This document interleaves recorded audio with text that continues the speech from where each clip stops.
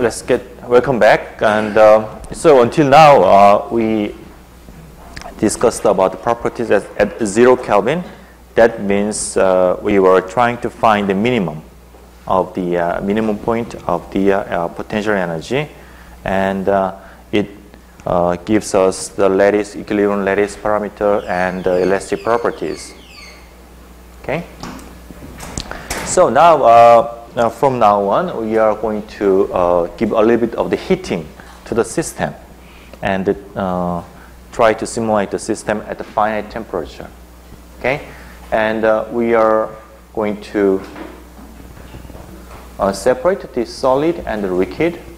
And uh, in the solid, we will look at various equilibrium properties like velocity distribution and heat capacity at constant volume and thermal expansion coefficient, and impurity diffusion, and also the annealing method to find the global minimum of the, uh, the specific configuration.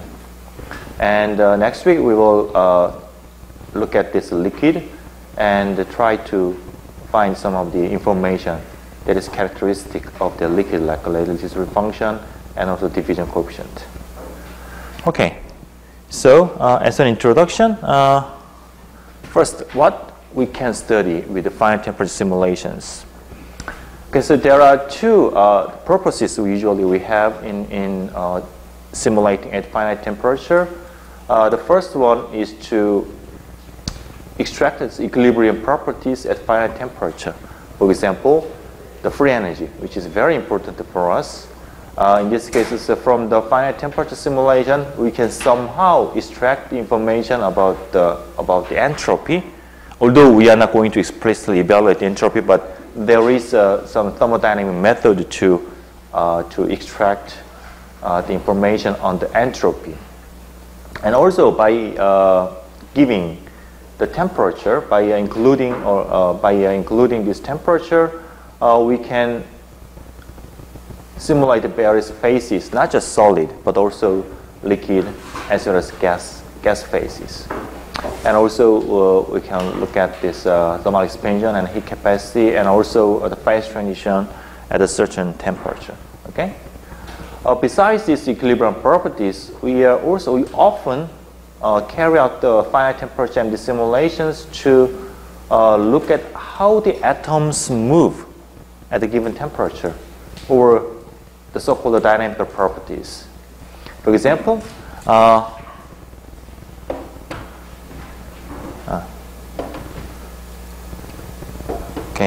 So for example, uh, in this example, uh, this is the, uh, oh, this shows the, wait, I'm. The diffusion motion of the copper clock complex on a silicon dioxide surface. All right. Uh, it is fun. It is uh, basically fun to look at how the atoms move around at such a small time scale. All right. Uh, and from these simulations, you can understand how the bonds are formed and broken as the clusters diffuse, and also the, how these, uh, you know, the various side chains move uh, around these copper metal atoms. Okay, so you can, uh, can basically uh, understand every details of the atomic motion for the given specific uh, atomic processes. Okay, so it is it's hugely, hugely informative simulation. Right? And uh, quantitatively, you can extract this atomic diffusion and also the structural evolution uh, from A phase to B phase or annealing and quenching by changing the temperatures. All right, so there are various purposes. Then, uh, how can, uh, and there are various types of the simulation condition that we can impose on in these finite temperature simulations. And actually, uh, uh they are uh, in parallel with the thermodynamic systems that you have, may have learned in the text, thermodynamic textbook. Uh, for example, in the case of this isolated system, in which the atom, the number of the atoms, and also the volume are actually fixed. Okay, and uh, and also it is isolated completely from the environment. So there is no exchange of the energy nor exchange of the matter. All right. So we call this kind of simulation as the microcanonical simulation ensemble or microcanonical simulation or NVE ensemble or NVE simulations. And here N means constant number of atoms, the V is constant V volume, and E is constant energy. Since your system is completely uh, apart from the environment, the energy is conserved, right? So energy is also constant in this simulation. So that's why we call NVE ensemble or NVE simulations. Or uh, since it is, uh, uh, it is, it does not allow this energy of the exchange of the energy, so we call it adiabatic simulations. All right, so that's the, uh, the first type of the simulations. Uh, in the second type, you can also simulate this, uh, the closed system. The closed system means that you allow the exchange of the energy, but you prohibit the exchange of the matter, right? So number of the atoms in your system is fixed, but it somehow exchange energy with the environment. And there are actually various types of the energy. There can be heat, heat, okay? So uh, random motion of the atoms, and also there is a mechanical work or electrical energy, etc. So there are various kinds of the energy. So depending on which one you allow to transfer or you prohibit the transfer, then uh, there are various types of the simulation that comes from uh, uh, under these closed system simulations.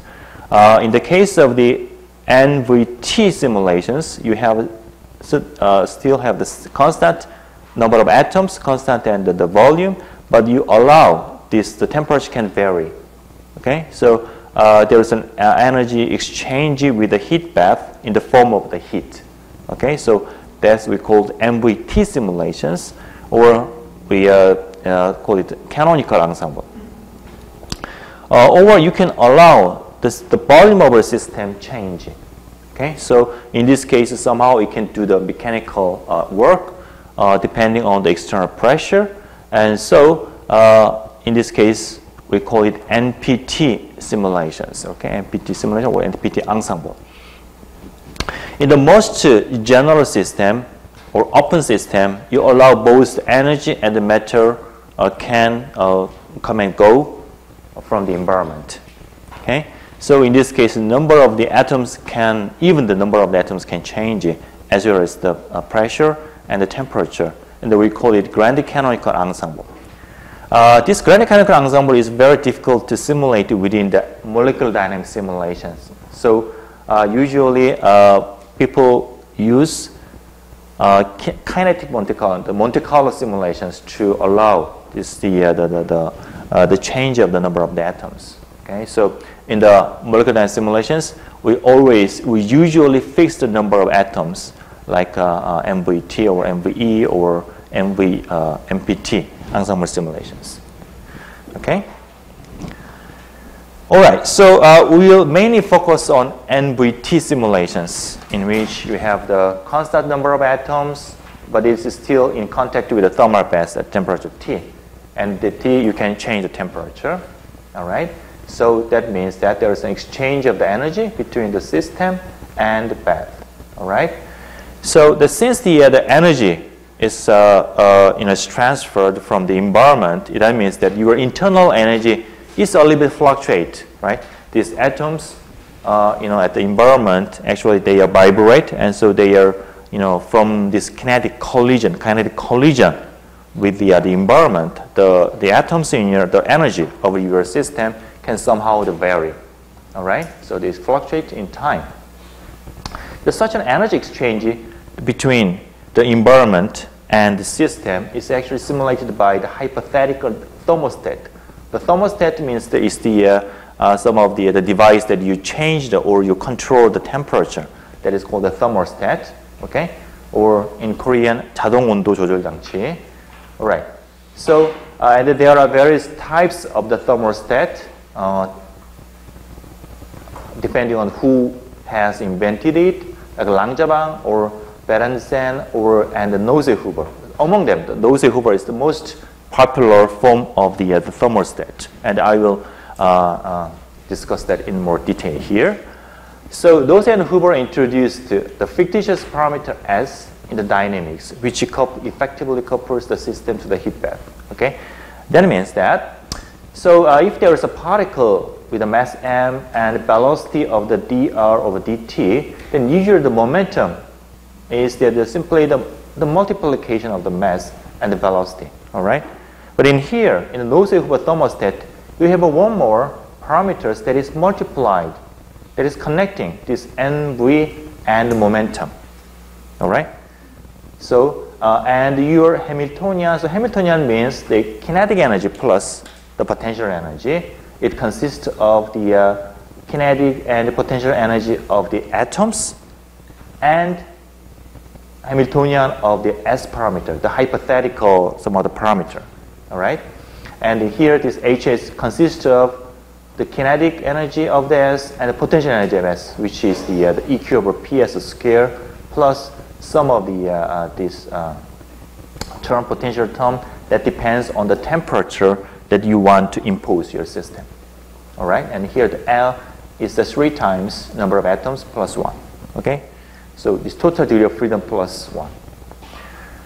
All right, so this is the basic Hamiltonian. From the Hamiltonian, we can derive the equation of motion. Okay, and the first line here, the result is uh, as follows, and uh, the first line is the dynamics of the particle.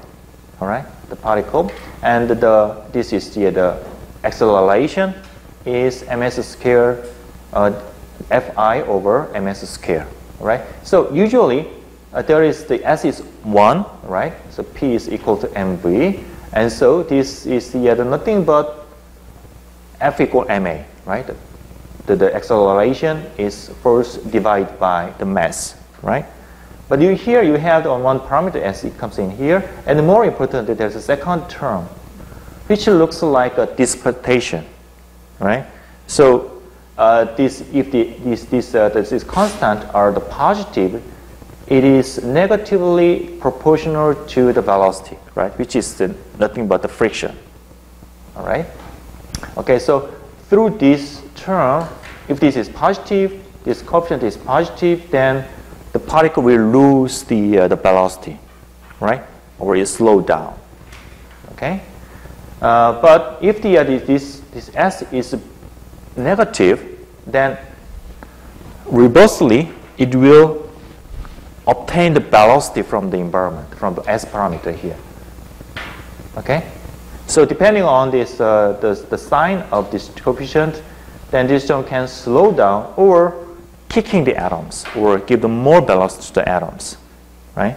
So uh, if it is cooled down or this kinetic energy is somehow lower than uh, that expected from the certain temperature, then it will boost up the velocity by kicking the atoms. Or if this is too too fast, then it will uh, slow down by through the, this uh, friction term. All right. So this second term is mainly control the velocity of your the particle. And this S is not a static parameter, but it also it has its own dynamics uh, in the second line. It has a mass of the Q, and uh, it has the second right hand side is correspond to the force that drives S, and it it is uh, uh somehow you can, uh, can understand that this is the, uh, the kinetic energy of the, your total system, total kinetic energy, which should be proportional to the temperature of that system. And from the difference, if it differs the temperature that you impose your system, that somehow this S has some of the value or it has the, uh, some of the, uh, the numbers that changing with time, okay? And it will affect the, the dynamics of your system, okay?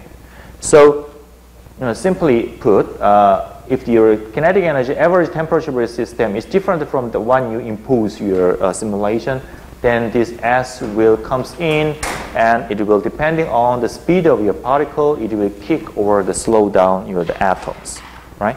So this is a mechanism how uh, this S controls the, uh, the velocity of your, of your system, okay? And there's one parameter here, which is the Q, which is the, the mass of the uh, hypothetical parameter S. So if the small q, the q is small, then it means that this S is rapidly respond to the difference of the temperature difference, right? Target temperature and your system temperature. So it will, you know, rapidly, very quickly adjust to your temperature. All right. On the other hand, if the Q is large, which means that S is very heavy. Uh, so, uh, so it will very slowly respond to the temperature difference. Okay, so there should be some of the optimal value uh, then you can uh, you can set in your system that we will discuss later. All right, so let's compare uh, this uh, the law of the effect of the this thermostat with the example of this water molecule, the simpler one, water molecule, and this oxygen is more or less fixed in space. And in the left-hand side, it is NVE ensemble simulation, which means uh, it is a is constant energy. So you, it will simply, it will look very natural, right? So it's a simple vibration of the hydrogen atoms around the oxygen atoms, right? So nothing, nothing particular, right? Nothing suspicious here. It's a plain dynamics, all right? On the other hand,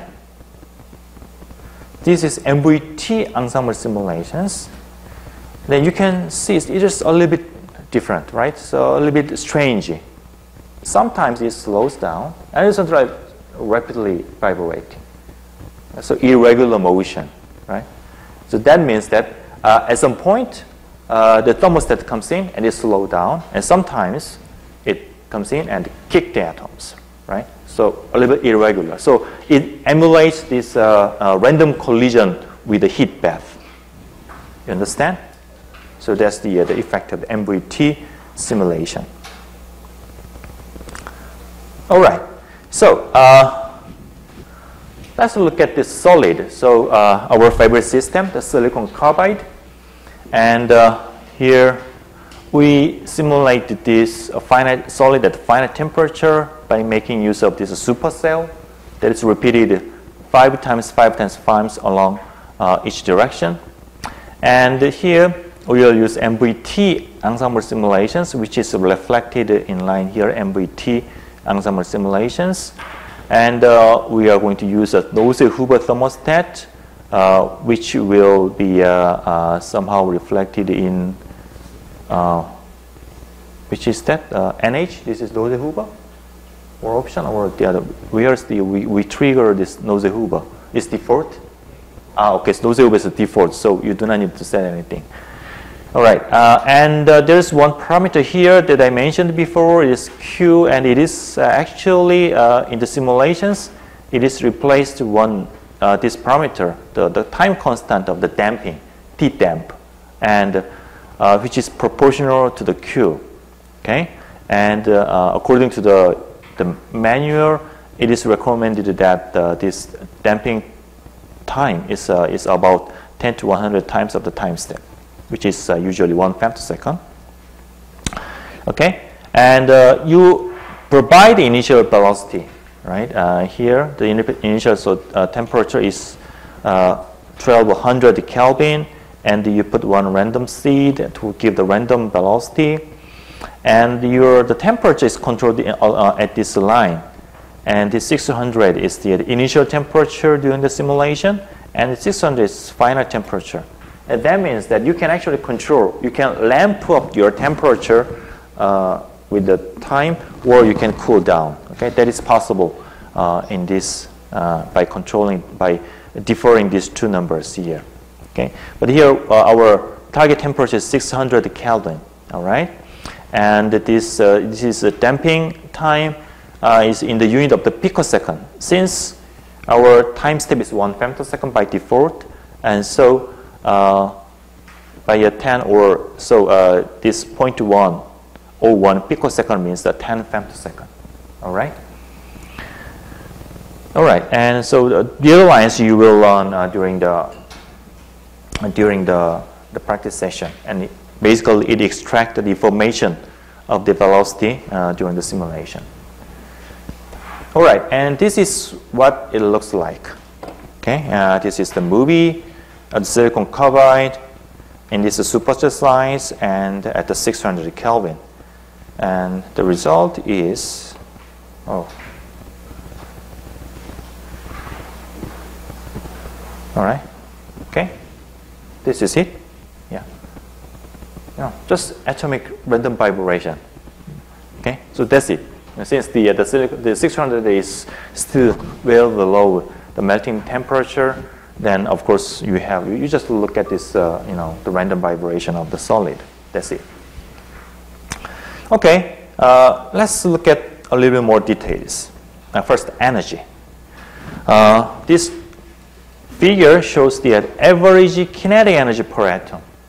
All right, and you can see some of the fluctuation along the time. So this x-axis is the time, or in the number of the steps, or in the unit of the femtosecond. So you have carried out uh, about five picosecond simulation. All right, but if you uh, amplify this initial time here, then this is what it looks like. And it starts from the high temperature, and it rapidly comes down, and it is somehow fluctuates, and on average, it is the, the energy is smaller than the initial kinetic energy. All right? Okay, so uh, during this time, your system is somehow adjusted. So since because you have provided some of the non-equilibrium velocity distribution in the beginning, so uh, it takes a little time to equilibrate. Okay, so and after its equilibration time, you can see even though there is some of the fluctuations, this is always natural and always you cannot eliminate this. So this the um, there's a little bit more or less uniform uh, distribution. So uh, this initial time is called equilibration time. So in any kind of the simulation, you have to first equilibrate your system because your initial uh, starting configuration is usually away from the equilibrium. All right, so you need some of the time, and it can, you can it depends on the, uh, your system. In this case, we are the solid, right? Solid, and so it equilibrates in equilibrates a very a short time, like uh, within you know one picosecond. This is very uh, very fast. On the other hand, if you look at this, the potential energy here, uh, then in this during this equilibration time, you can see that it first starts from this minus 6.16 electron volt, which is actually the energy at the, uh, the absolute minimum, all right, or uh, those structure at the zero Kelvin, all right. So this is the, uh, the, the minimum point here. And you have uh, now, since your atoms are moving around, of course it will uh, move around away from the equilibrium point. That's why you see here, the energy is, the potential energy increases and equilibrate at a certain uh, the value. All right.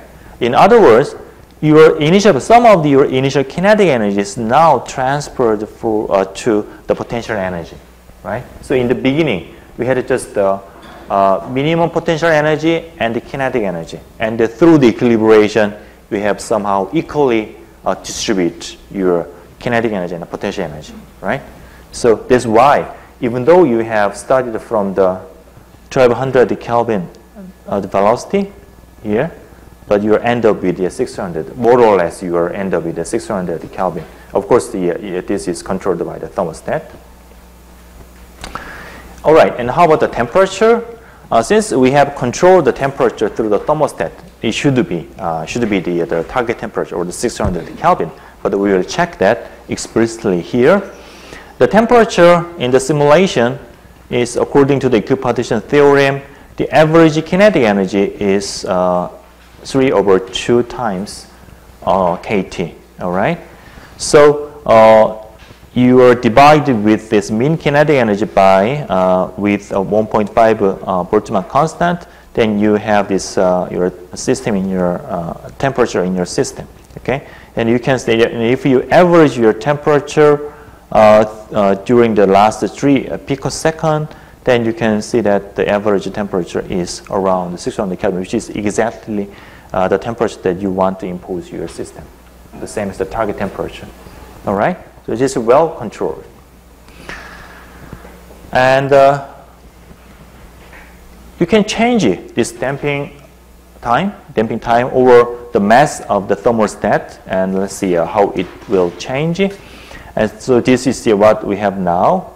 And if you increase your the damping time, it's 0.1, then you can see that the temperature is respond or it varies more slowly, right? And here it is more rapidly, but it is uh, changing, you know, more uh, a little bit longer time scale. And in this case, the damping of the 0.5, you can see the very slow the time variation, all right?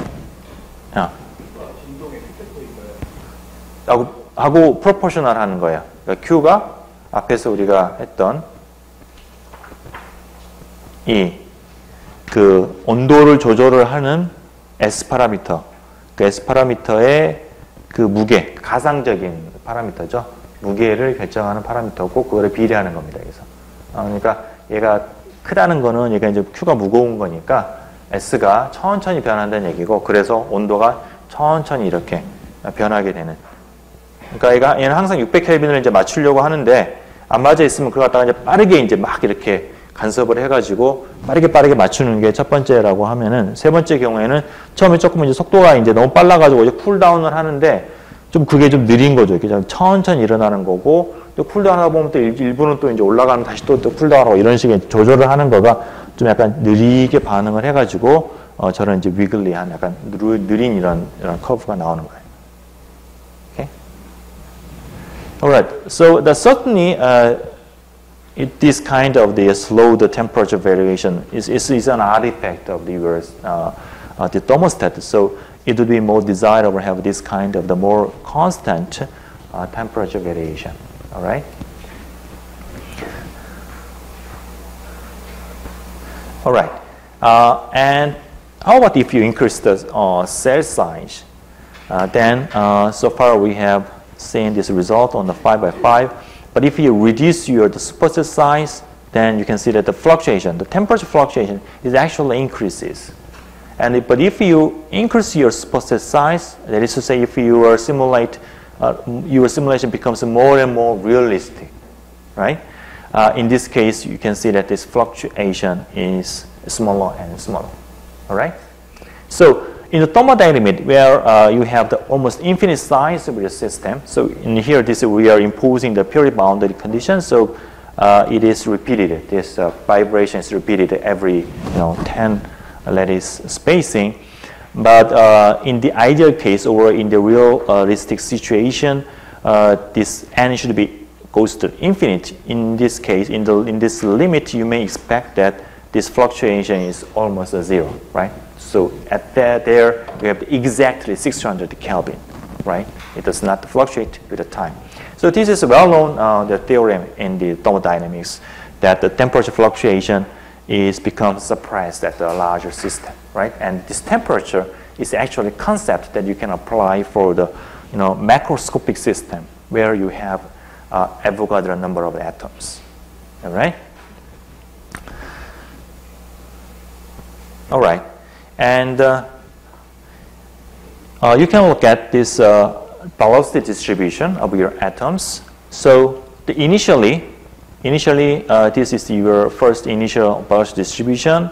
And as the time goes on, the shape changes. And finally, uh, after equilibration, you have more or less the, the constant distribution of the velocity. Okay? And actually, this may reminds you of the well-known, the so-called Maxwell distribution.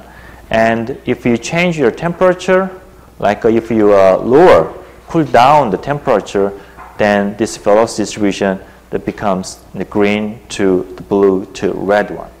And this is exactly what is uh, formulated in this Maxwell-Boltzmann distribution. This is 400 Kelvin, this is yeah, 200 Kelvin, this is 100 Kelvin all right? And this is exactly reproduced during our simulation, right? So, you know, this is because this is, a, you know, such a distribution is a consequence of statistical mechanics, all right? And so our system should uh, follow the result, right? If our the can simulation was carried out you know, reasonably. Okay? Uh, but such a steady distribution does not mean that every atom has a certain only one velocity.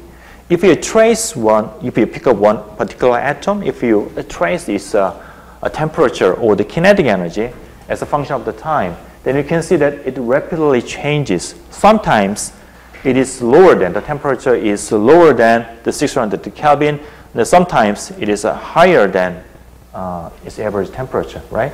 So every atom, you know, sometimes it is moves slowly, rapidly, and, and on, on average, uh, temperature is always 600, but there is always uh, significant fluctuation is in energy, kinetic energy, or is the temperature. All right? Okay, so bear in mind that you know your the atoms are always changing its velocity. So if you want to uh, simulate NVE ensemble, then you can simply switch your uh, the line, one of the line here, this NVT to NVE. Then you are triggering NVE ensemble simulations. And uh, if we look at this result, uh, this is the total energy per atom. In the case of the NVT ensemble simulation, you have seen that the total energy is fluctuates, right? Because the, the thermostat always interfere the motion. So sometimes so uh, its energy is fluctuating. But this is the, uh, the constant energy simulations or adiabatic simulations. So its energy should be conserved, right? It's constant, right? Uh, so uh, you can see that this red line here is almost constant, but after 5 picosecond simulation, you have the slight increase in the total energy, right, by about uh, 1.4 millieV per atom, which is certainly noticeable in this picture here. And this slight increase is actually uh, is a consequence of the approximation of the finite uh, time step, right?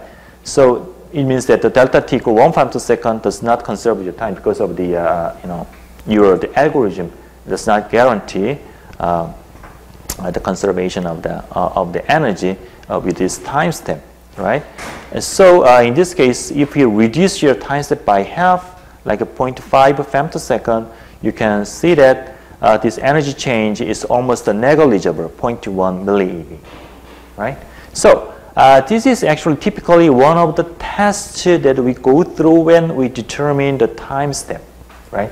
Well, so the time if the so the, the larger time step will be beneficial for your the fast simulations, but somehow if you increase it, then your total energy will drift. It increases, right? So during your simulations, so if your simulation time is short, that's fine. But if you want to the long time simulation, not just five picosecond, but let's say one nanosecond, then uh, this amount of the, uh, the energy increase could be significant, right? So in that case, you have to reduce your time step, you know, such that your total energy well conserved, right? So this is one of the tests that we go through when we determine the appropriate or proper time step, all right? And how about the, the temperature? The temperature, average temperature is the kinetic energy divided by 1.5 Boltzmann constant which uh, in the case of the NVE ensemble, you have the more of you have the uh, the almost constant temperature, uh, and its average temperature is about 580 uh, Kelvin. And in the case of the NVT, was adjusted to 600 Kelvin, and uh, this uh, and also has the the certain level of the fluctuation. All right. So this means that basically NVE and NVT are almost identical simulations if you carry out just was uh, for a fixed temperature, all right? Uh, as long as your total energy is somehow somehow adjusted or set such that the temperature, every temperature is the same as the target temperature, all right? And some people, uh, for that reason, some people actually prefer NVE over NVT because uh, in this case, NVT ensemble simulations, the thermostat, you know, is interfering with the atomic motion. Sometimes it slows down, it's kicking the atoms, which may affect the dynamics of the system. All right. So at the constant temperature simulation, some people prefer the NVE over NVT. But the thermostat is usually uh, usually uh, uh, very uh, convenient if you control if you want to control the temperature during the simulation, such as you know quenching or if you want to melting your the system, then you have to increase your temperature right, gradually, then you know NVT is certainly much more convenient than NVE ensemble simulations. All right, and during the practice session, you will uh, learn about you know how to, how to produce this velocity distribution. Okay, and uh, I go on. All right. Okay, uh, the next topic is about the heat capacity. Heat capacity. We can calculate the heat capacity. And here uh, you can do both constant volume and constant pressure, but here for simplicity, we uh, deal with only the constant volume simulations. All right, so uh, the heat capacity at a constant volume. Uh, heat capacity means that is the energy, energy or the thermal energy that you have to provide to increase one degree of your system. All right. And if it is the volume is fixed, then it's CV. Uh, and if the pressure is fixed, then it's a CP, constant pressure, heat capacity. And here the energy means the kinetic energy plus potential energy or the internal energy, right? Since the volume is fixed, the, all the heat that is provided by the heat bath is goes totally to the internal energy, not the mechanical work like the P delta V. And so uh, during the simulation, if you just uh, plot this average total energy uh, at a different temperature, then you have this you know, fairly linear behavior. Okay? And the slope, it gives you the heat capacity. All right? So uh, in this energy in electron volt and temperature K, the slope is about you know, 0.000259 uh, eV per Kelvin. And if you convert it to joule per mole per Kelvin, then you have to uh, multiply you know, the Boltzmann constant and the other number. And since there are two atoms, silicon and the carbon per unit cell, so uh, overall, uh, it gives you the 50 uh, joule per mole per Kelvin. All right? Okay. Uh, however, actually, this is a, somehow somewhat trivial result because uh, you know we already know from the equipartition theorem that classically the heat capacity is always uh, the degree of uh, number of the degree of uh, freedom times uh, gas constant R. Okay, so in this case, we have the two atoms here, so 3R times 2, so it is equal to 49.8, which is almost the same as the, what we obtained from the numerically. All right? So this is called the Dulong-Petit rule. So your system is a classical system, so classical simulation should follow the result of the, uh, the classical thermodynamics. So for instance, in the previous example, we have seen that the, the velocity distribution is exactly follows the Maxwell-Boltzmann distribution. And in this case, we have seen that the heat capacity is exactly what is predicted by this uh, Dulong-Petit rule. All right? So this is a little bit trivial result. But what is the, uh, the real system? So in the real system, uh, so this is experimental data uh, that is published in this reference. And the heat capacity actually, it depends on the temperature, right? Uh, and at a high temperature, very high temperature, uh, this heat capacity is indeed, indeed is equal to the, uh, the what approaches what is expected from the classically uh, or Dulong-Petit rule, uh, and it approaches the, the, the, okay, so it is a little bit disappear here, but it's a 6. So it approaches 6 here. Uh, but at the lower temperature, it is significantly suppressed. And near the 0 Kelvin, it becomes 0. All right? So uh, you may know that uh, this is the, uh, the result of the quantum effect. Your the phonon vibration is that, okay, so this CV or heat capacity is, comes from the thermal vibration or the phonon vibration. And this, uh, such a vibration is suppressed uh, because of the finite energy difference of the vibration, h times the frequency. Okay, so uh, you may know that uh, so there is a Debye model which uh, uh, which describes such a heat capacity of the phonon system, and you can see that that it well fits the experimental data. Okay, and at, at 300 Kelvin, this heat capacity is yeah, only the 26.6 joule per mole per Kelvin, which is much more, much smaller than uh, the classical value. All right. So this is one difficulty in the classical dynamic simulations. So in the classical dynamic simulations, you are populating or you're populating your phonon modes too much, right? You're populating all of the phonon modes, but in reality, because of the quantum effect, it should be significantly suppressed, but it is beyond the uh, scope of this classical dynamic simulations. That's one problem that we also discuss the next topic. All right? So there is a way to, uh, to calculate such a heat capacity quantum mechanically uh, you can calculate this phonon vibration uh, or phonon spectrum, and there is a package or there is some, uh, some, some of the formalism. Uh, you can calculate the heat capacity from that uh, the phonon vibrational mode. Okay, that is already known. All right. Okay, so uh, then the next topic is thermal expansion coefficient. So the materials are usually expand at the finite temperature. Okay, that is actually the result of the uh, anharmonic effect, which means that uh, if your system is a harmonic, or if your lattice, if you compress, as you compress or decompress your system, the, your, the energy of your solid will, you know, uh, be like that. Okay, so at equilibrium, you, this is equilibrium lattice parameter.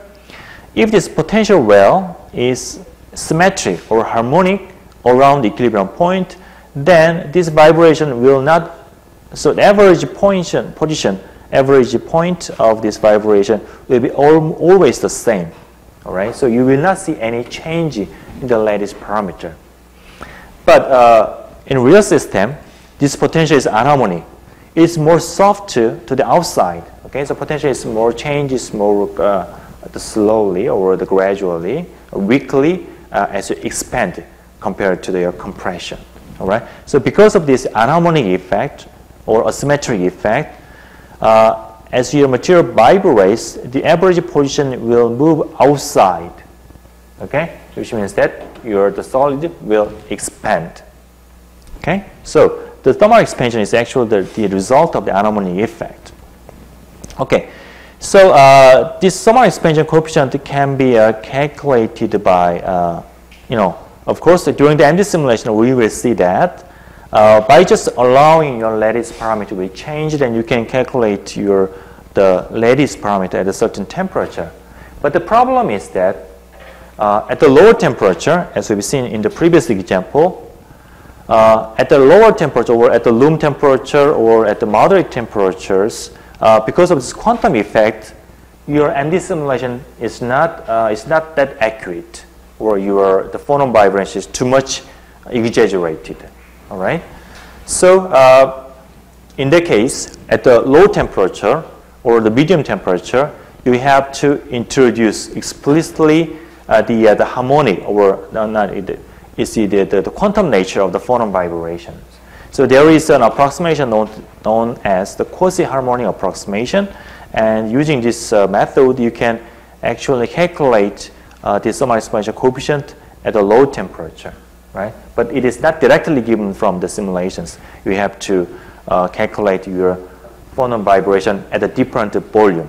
And then, you know, there is a formalism that gives you the lattice expansion coefficient. But here we will uh, demonstrate this MD simulations, which is uh, becomes more and more accurate uh, at the temperature approaches the, uh, the melting point. All right, so it is accurate at high temperature. So the simulation is simply uh, allowing your lattice parameter to change with respect to the external pressure, right? So uh, NPT ensemble simulations. So depending on the pressure, here of course, the external pressure is usually one uh, atmospheric pressure, but which is almost, uh, you know, in, in the case of the solid, this is almost uh, uh equivalent to the zero, uh, zero bar. Okay, so you can set this as zero bar, and you can allow your lattice parameter change with respect to your stress. Okay, and so it will fluctuate, and by taking the average over a certain period, then you can uh, say say the uh, you can you can obtain this average lattice parameter uh, at a certain uh, temperature, and if you examine the stress during the simulations, then you can see that on average it is zero, which is the uh, it's stress free or external pressure is almost zero. All right, so uh, this is the result. this is the, the, temperature, and this is the the average lattice parameter, you can see that it gradually uh, increases, right? It's emulating the uh, thermal expansion. And from the slope, you can see that the expansion coefficient, the linear expansion coefficient is 1.6 times 10 to the minus 5 per Kelvin. If you average over the uh, from the room temperature to 1000 Kelvin. And the right hand side, this is the, uh, the experimental data, uh, and this is the ambient pressure. And you can see that uh, at lower temperature, the lattice expansion is quite suppressed, right? This is because of the quantum effect.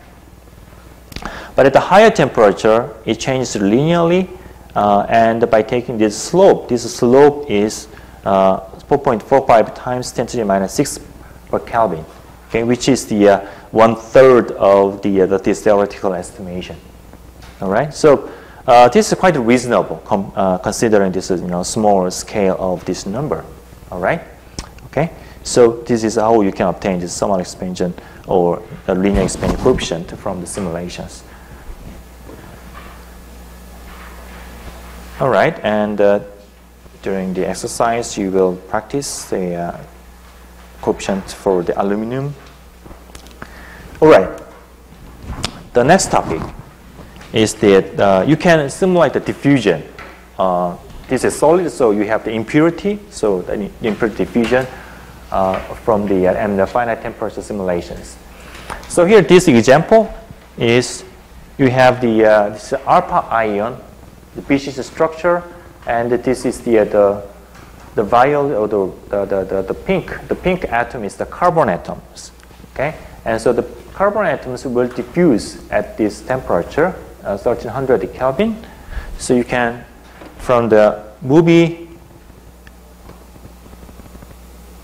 you can see that, you know, this, the pink atoms, you know, drifts uh, from time to time changing its radius positions. Okay?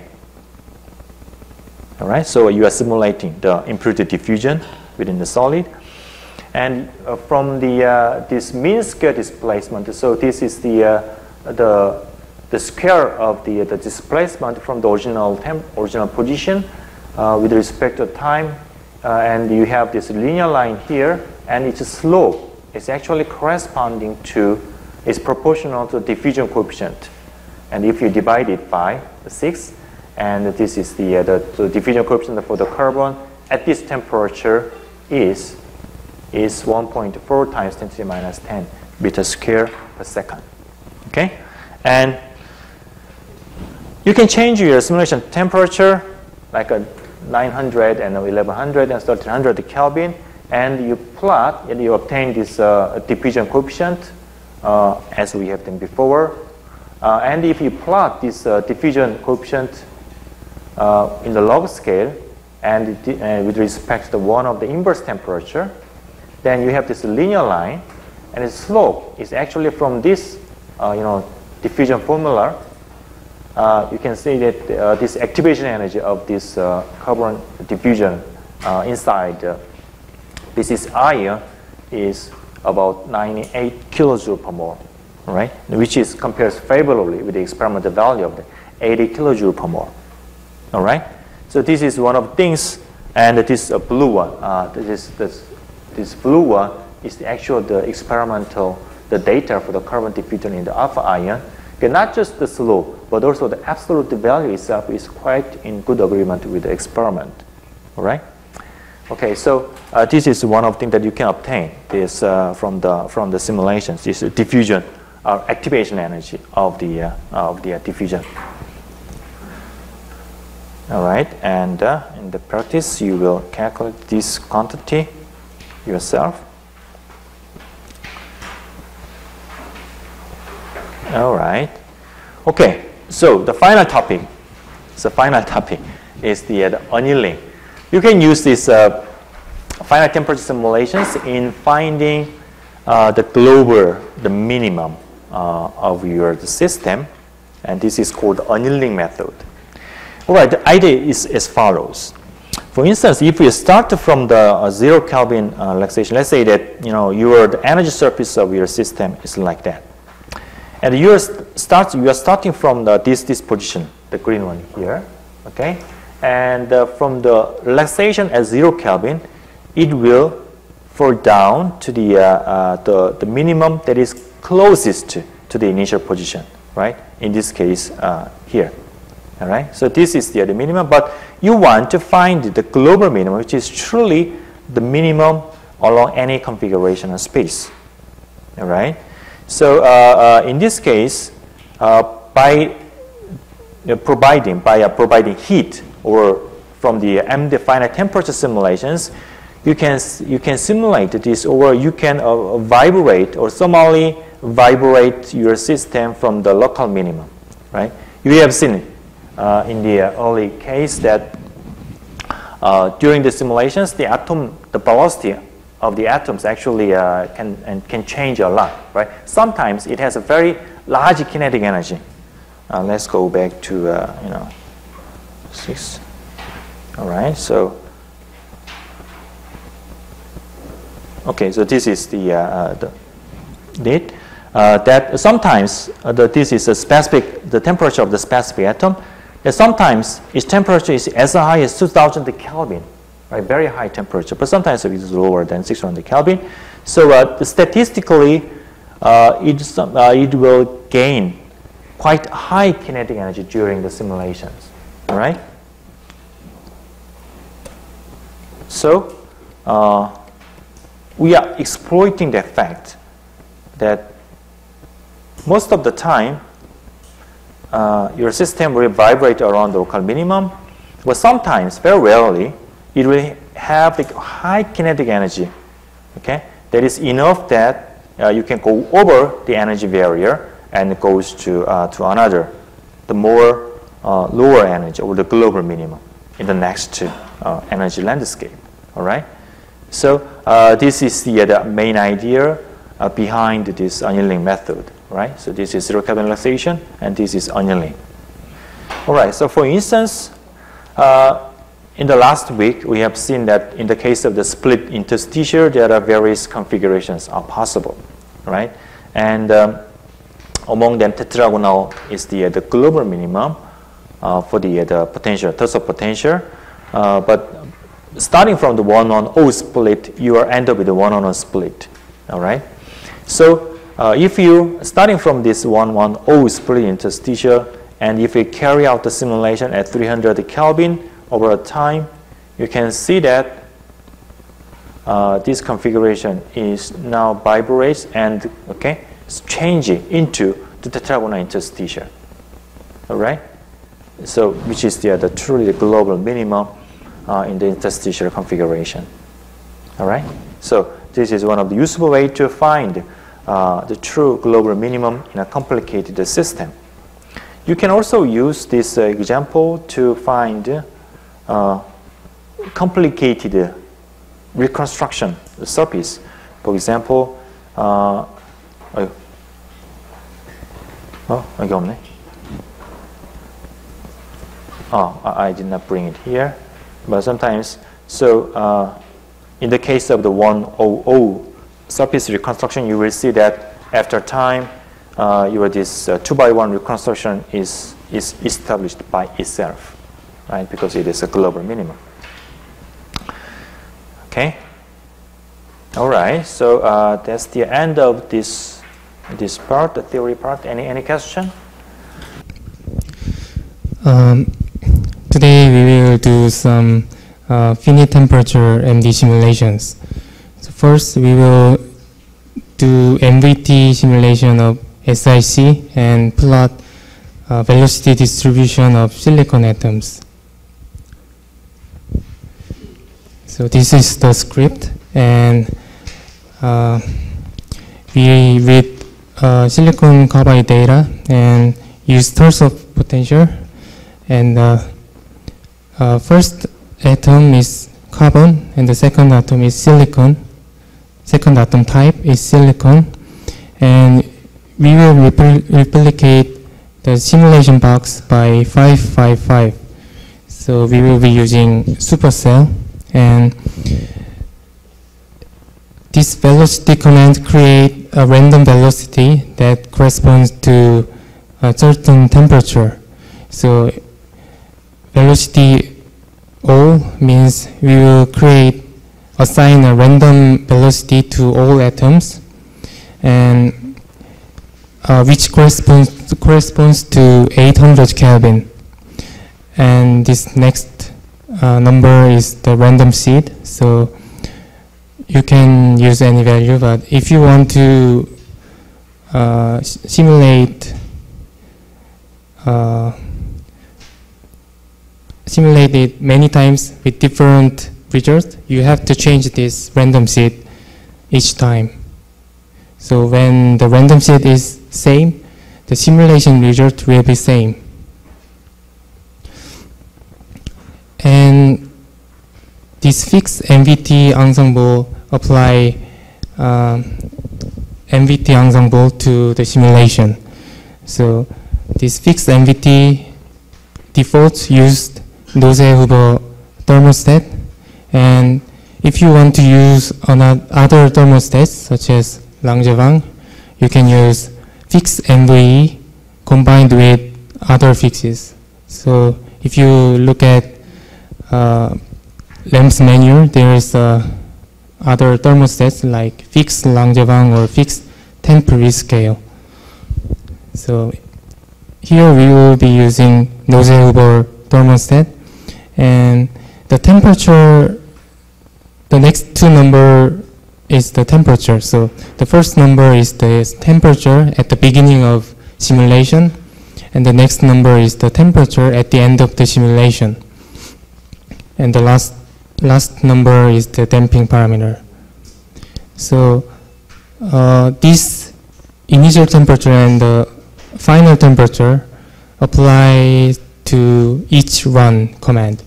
So if you set initial temperature as a 400 Kelvin and final temperature as uh, 800 Kelvin, then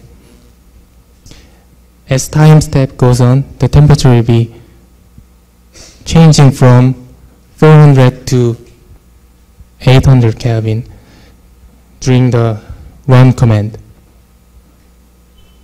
So if you uh, use run 5000, the temperature profile will be like this. But if you use 5 run 1000 command, then this temperature profile is applied to each run. So the temperature profile will be like this, 5 time.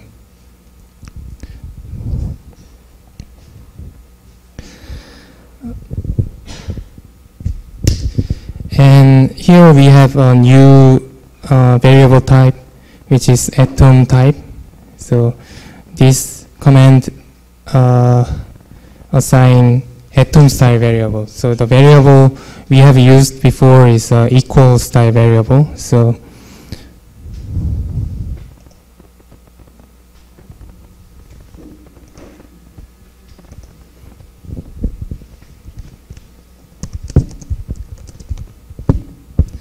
So this is the uh, variable we used before. So this equal style variable assign a scalar value to the variable.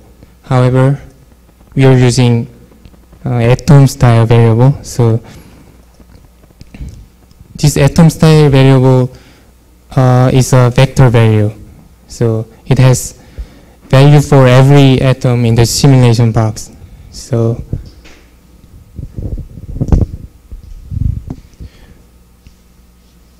if we have uh, four atoms in the simulation box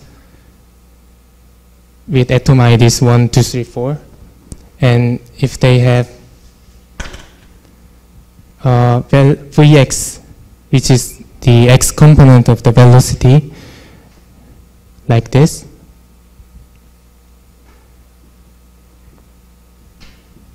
then if we uh, write variable atom something like this then this mm, then this uh, variable b will be an array which is like this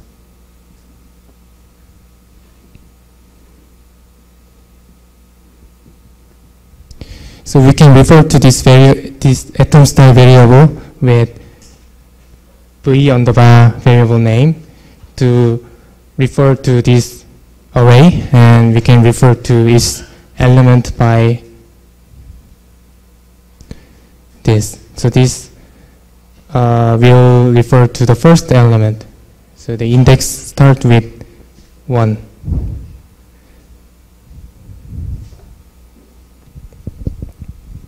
So there are some predefined atom vectors, such as ID, mass, time, mole, XYZ, which is XYZ coordinate, and Vx, Vy, Vz, uh, XYZ component of velocity, and XYZ component of force and charge.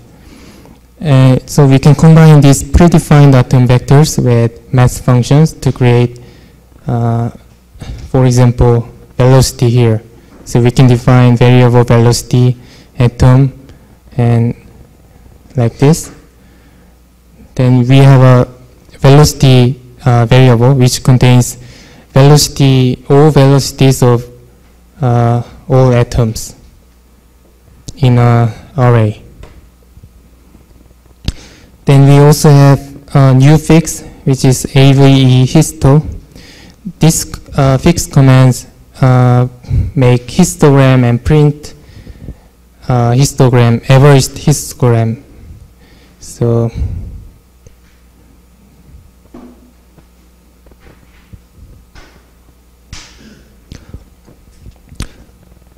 so there are uh, six numbers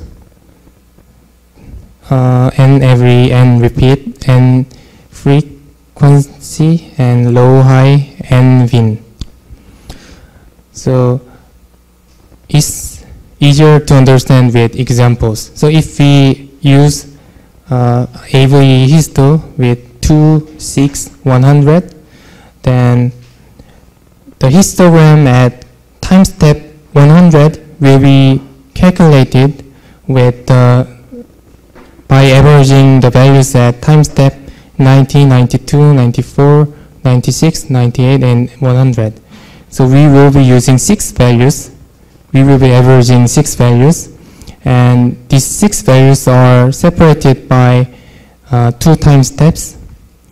And we will be calculating and uh, printing this information at every 100 steps. And the next three numbers indicate bin uh, settings. So if we write 0, 10, uh, 20, that means we will be binning uh, the value from 0 to 10 range into 20 bins.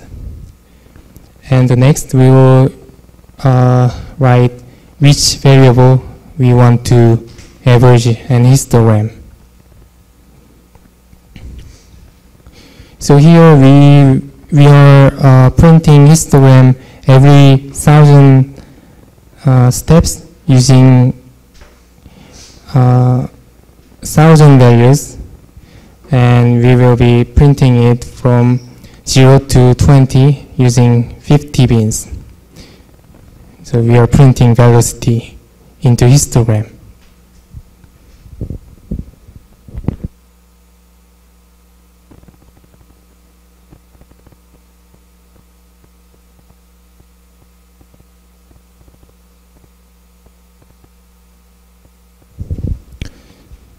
So if you ru run velo.in file, you can see it is calculating. But uh, since we are doing finite temperature simulations, usually simulation cell is large, so there are many atoms and we are uh, calculating many time steps. So it takes more time than zero Kelvin calculation. So if you want to speed up your calculation, you can use uh, OpenMP, which will uh, parallelize your calculation using many CPU cores. So you can use it with writing hyphen SF, SF OMP, hyphen PK OMP and the number of cores. So if you have a quad core CPU, you can use 4. By doing that, your simulation will run much faster.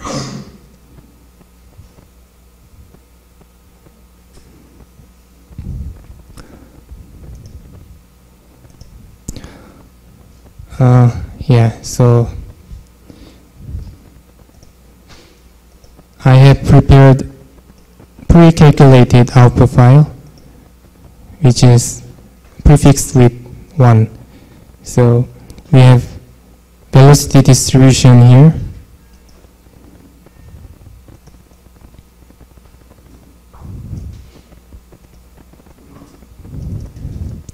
So this is the output from fixed AV histo. So here you can see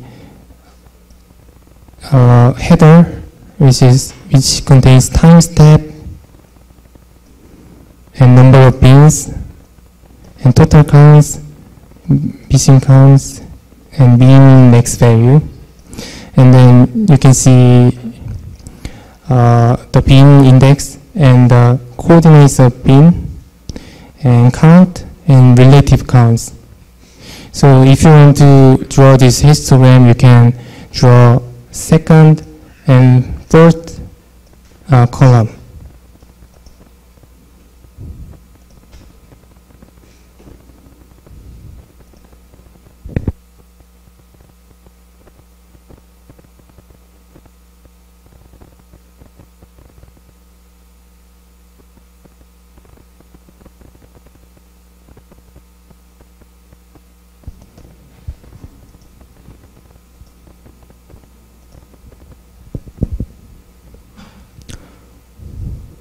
As you can see, the velocity distribution follows Maxwell-Boltzmann distribution.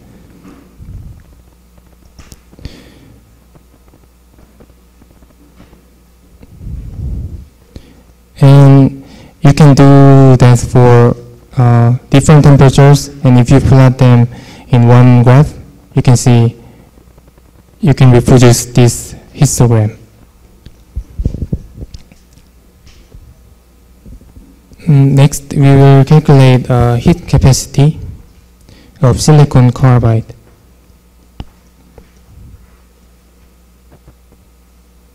Oh no, we will do thermal expansion coefficient of aluminum. So this is the script that calculate thermal expansion coefficient. So we uh, get structural data of aluminum by reading the data file and we will be using EAMFS potential.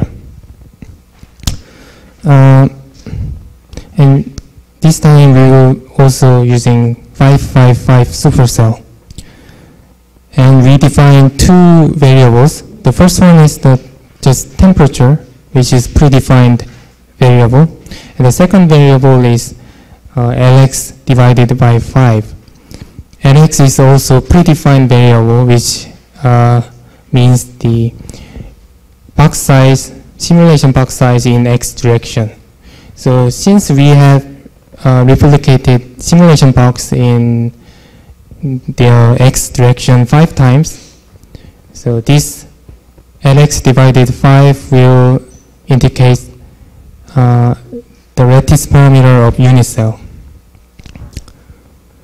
And then we will print this temperature and uh, lattice parameter uh, average time average value of these variables. So here we have AVE time fixed, which is similar to AVE histo, but this just uh, do time average and it does not make histogram. So these numbers are same as before, so we are printing average uh, time average value of these variables, these two variables, every 5,000 steps using 2,000 values. And we are printing it to e.def file. Uh, and we will be using loop and we will set the temperature using this uh, loop variable. So we, here we use npt uh, fix, which make uh, npt ensemble. So temperature will be from 50 Kelvin to 500 Kelvin. And here we have ISO 000.1 and this means ISO means the temper, uh, pressure is isotropic. That means Pxx equals Pyy equals Pzz. That is hydrostatic pressure condition. And this last number, uh, first two numbers indicate the pressure at the initial uh, simulation and the pressure at the last simulation run. So this is same as uh, temperature command.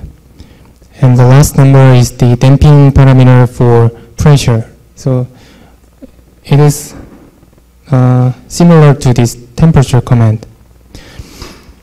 Uh, the damping parameter for pressure is recommended as 10 times larger than the temperature damping parameter for temperature. And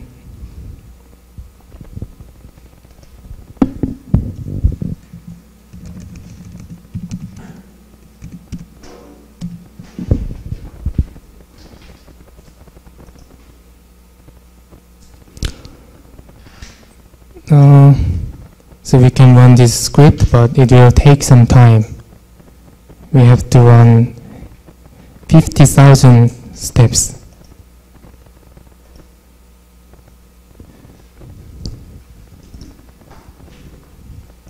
However, I uh, prepared the output.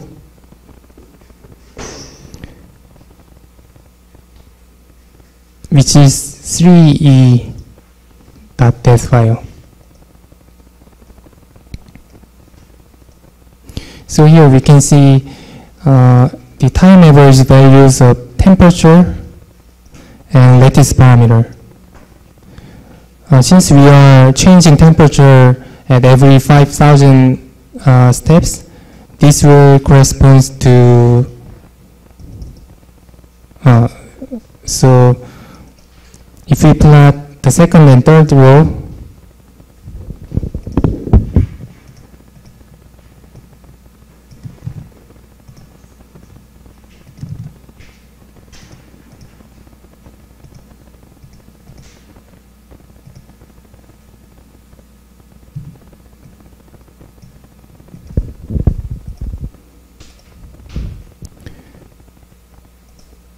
you can reproduce this uh, figure.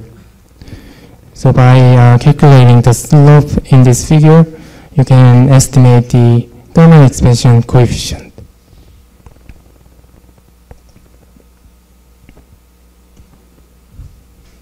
Uh, next, we will calculate the diffusion coefficient of carbon in BCC iron at different temperatures and find the activation energy.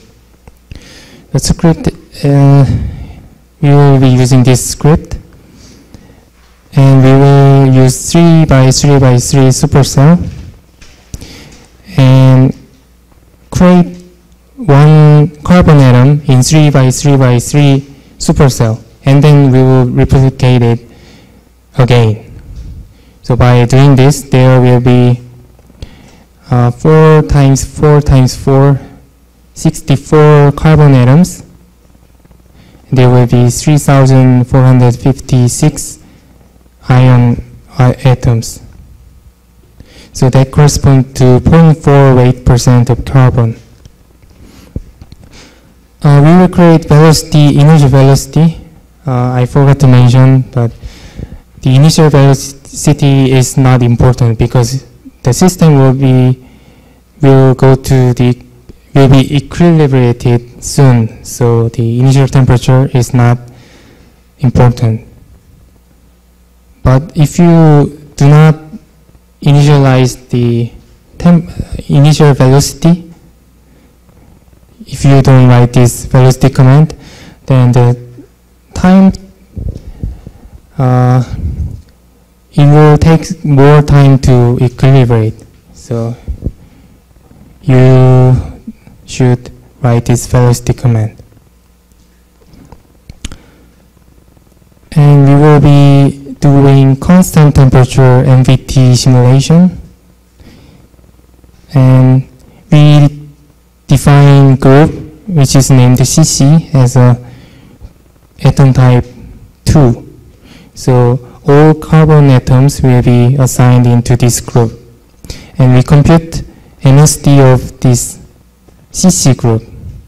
So this my MSD will contain the MSD mean square displacement of carbon atoms. And using this uh, fix print command, we will be printing step, temperature, and first element of my MSD into a file at every 10 steps. So we are printing first element of my MSD. That's because this computer MSD produce a vector and the first element is the MSD mean squared displacement in x direction and the second one is in y direction and the third one is in z direction. And the fourth one is the total mean squared displacement. So we want this fourth element since it has very many atoms, it will take quite long.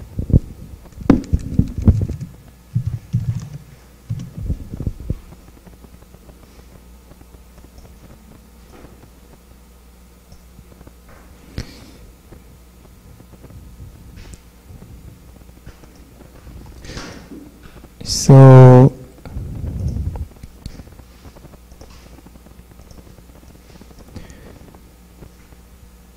Mm.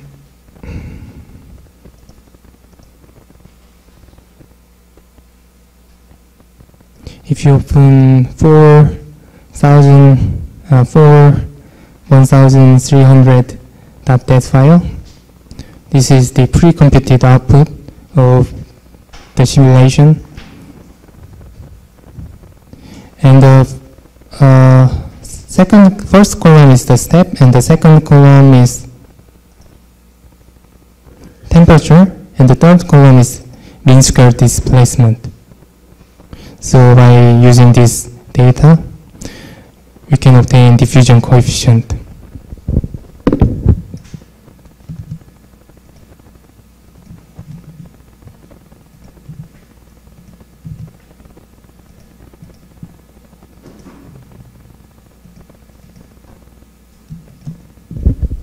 So if we plot first column versus third column, we can see the diffusion uh, mean square displacement and the time step. So if we calculate the slope of this uh, means this graph, we can obtain its diffusion coefficient. The slope corresponds to 6d. However, as you can see here, this figure is very uh, has very many fluctuations, so it's not easy to obtain diffusion coefficient from this figure.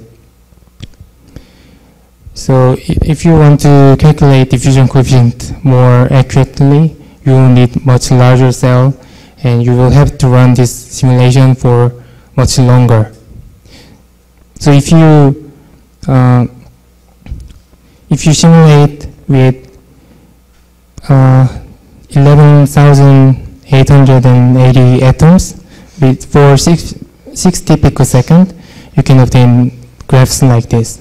So here you can obtain the slope of the this graph more accurately.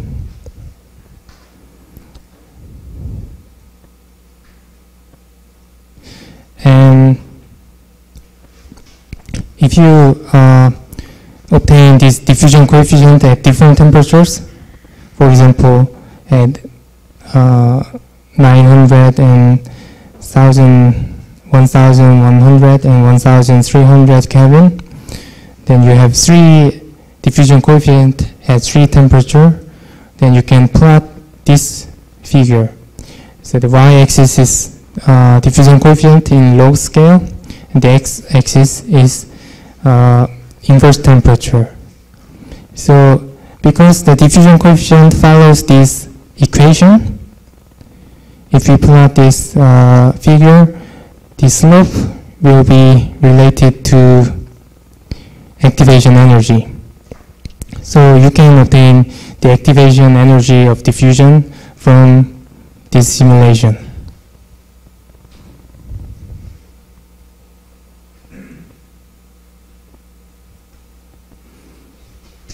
Uh, next, we will do some annealing simulations. By uh, doing annealing, we can escape local minimum and find the global minimum if we anneal it very slowly. So the first example is uh, silicon interstitial. So this is a very easy one because it will go to more stable tetragonal interstitial really quickly. So this script has nothing special. So you create a silicon split interstitial and minimize and then um, anneal it at 300 Kelvin for 5 picosecond and then minimize the final, final structure.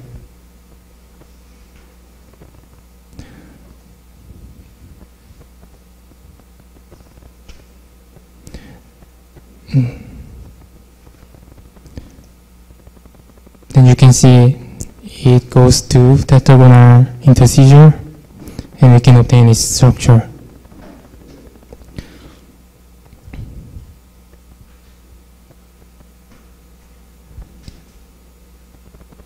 So here we will be uh, annealing SI110 surface to see its reconstruction.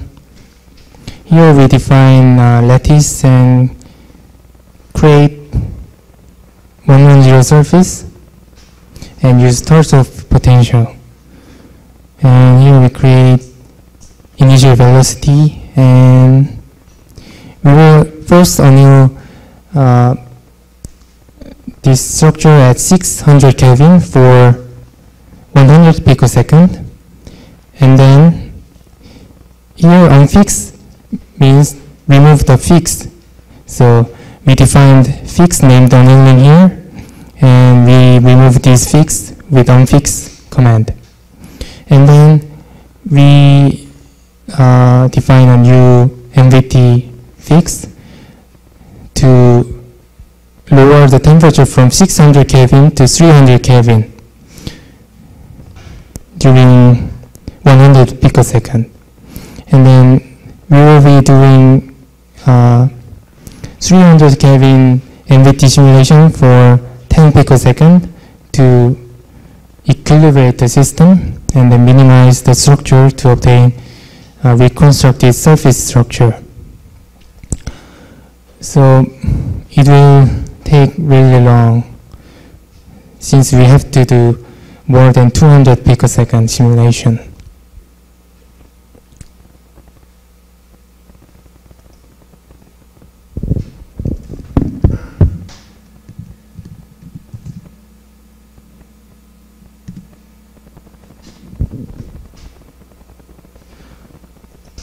Uh, since uh, the reason this simulation takes much longer than the previous one is that uh, this surface reconstruction is much difficult to find the global minimum. So its potential on the surface is more uh, complex, so we have to cool down it very slowly to obtain global uh, minimum.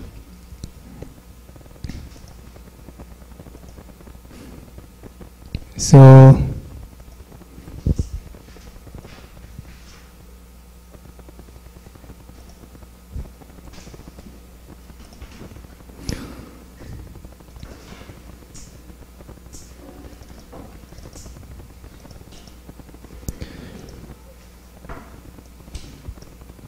So if we uh, look at six movie that file with VMD, you can see the result.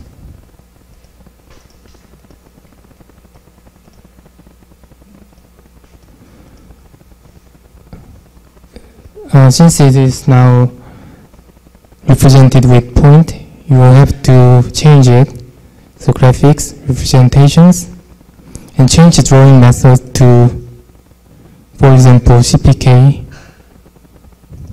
or VDW. You can also use dynamic points with current representation and increase decrease uh, distance cutoff. Then you can see the stru- structure of silicon surface.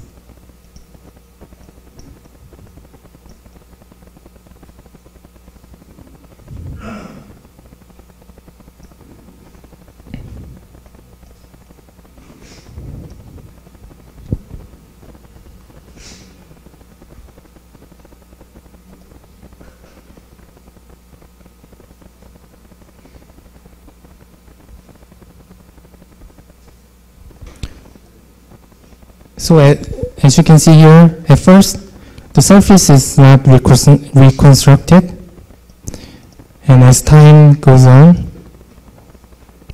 as it fluctuates with thermal energy, it gets constructed, reconstructed.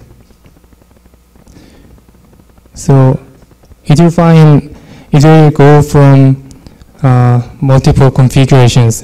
So there can be multiple reconstructions which correspond to local minimum. So it will go from this configuration to that configuration and finally it will find its global minimum position like this. This might not be a global minimum but close to global minimum. Hmm.